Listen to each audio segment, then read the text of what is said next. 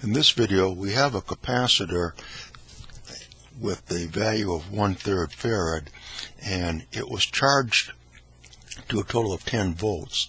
And now we're going to let this charged capacitor discharge to the circuit. And when it does, we want to know what is the amount of current that goes across from A to B. Now, for the current here involving a capacitor, whether it's a charging capacitor or a discharging capacitor, has the same general formula. I equals E divided by the total resistance of the circuit, and then it's E to the minus T divided by RC. Again, R is the total resistance of the circuit. Uh, for a discharging capacitor, sometimes you'll see a negative sign here. That just simply tells you that the discharging current is going in the opposite direction to the charging current. So that need not concern us. What we do have to do then is for this circuit, determine what the total resistance is. So here are two resistors in parallel, and then we have added to them another parallel pair of resistors. So it looks like R EQ, our equivalent resistance, will equal for these their product 10 times 10, 100, divided by their sum, that's 20, and for these, their product, again 100, divided by their sum, that's 25. So this is 5, that's 4, so we have 9 ohms as our equivalent resistance. So going back to our formula, oh, and let's look at this. Down here we have R times C. Again, R is our total or equivalent resistance for the circuit. That's 9.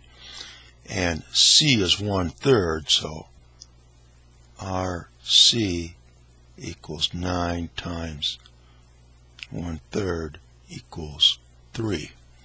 So it looks like the current I equals E 10 divided by 9 and then we have E to the minus T divided by 3.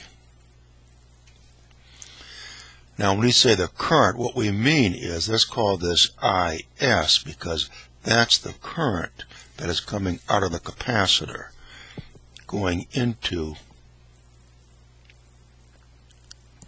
our circuit. So we have IS equals 10 divided by 9 e to the minus t over 3. Now, it looks like we need to determine how much of this current, we'll just call it IS, gets split up amongst these resistors. Clearly what's going to happen here is that should be pretty pretty obvious, I guess, that half of it's going to go through this resistor and half of it's going to go through this resistor. So we have right here one half IS and likewise here we have one half IS. Now we want to know what's the value of that current. So this 1 half IS is going to get split between these two parallel resistors. Some of it will go through here, some of it will go through here, and of course we can determine each amount by using the current divider principle.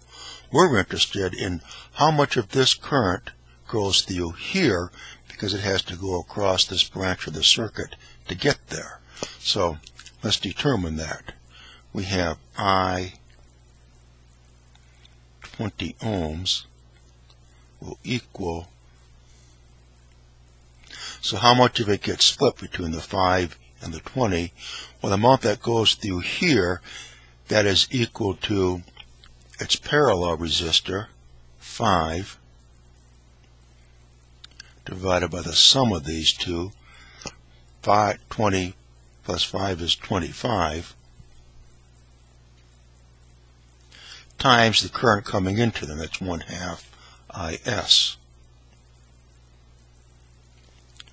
So that equals 5 divided by 50 times IS, or that's 1 tenth.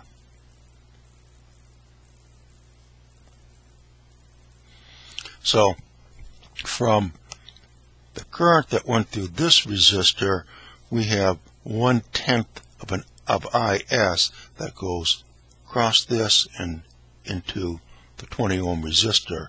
So for here it is going in this direction.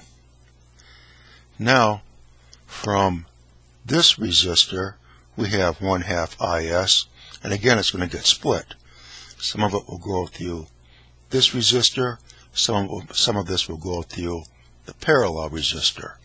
And we want to know how much of this goes through the parallel 5 ohm resistor because it has to go across that branch of the circuit to get there.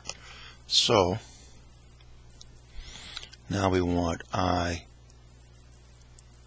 5 ohms, and that will equal this resistor, its parallel one, divided by the sum, 25,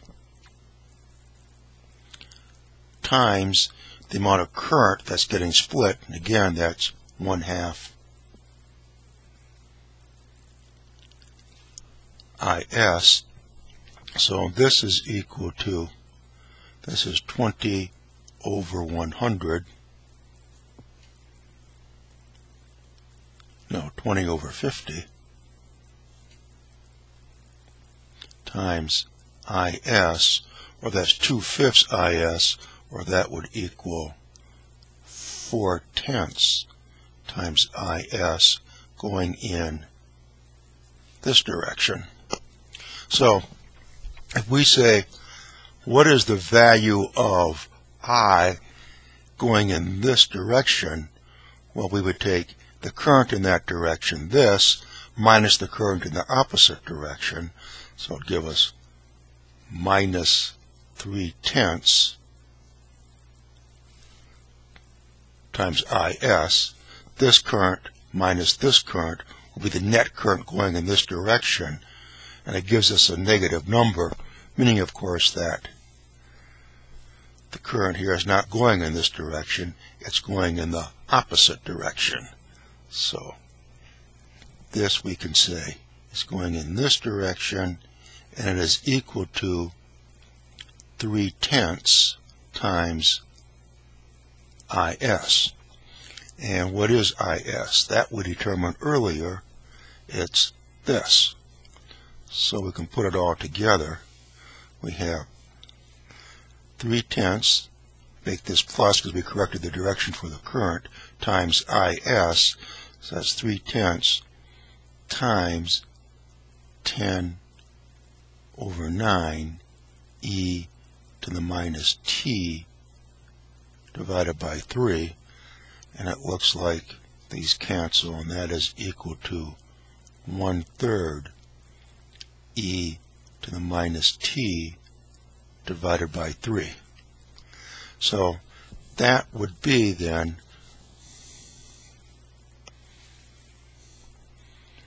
the current that goes in this direction is, now we can modify this further or make it more accurate, it is one third e to the minus t divided by 3. So that would be the current going in this part of the circuit, and it is going in this direction, not in the direction that we had originally assumed. Okay, um, that's it for this video. I think this is uh, video 64 in our series on electrical circuits. Um, anyway, you can find the playlist for all the videos It's at the website, uh, digital-university.org.